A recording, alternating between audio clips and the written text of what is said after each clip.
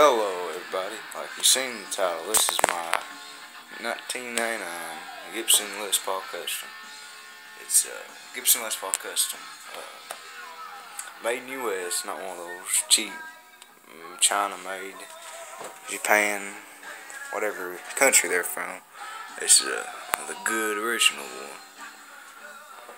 Plays real well, extremely well.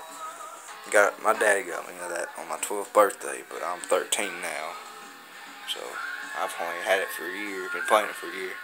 It's a good guitar, real good guitar. I'd recommend you buying it.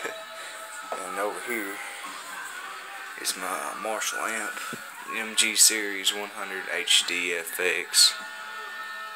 four speakers down there. I reckon it's uh, four 10 inch speakers.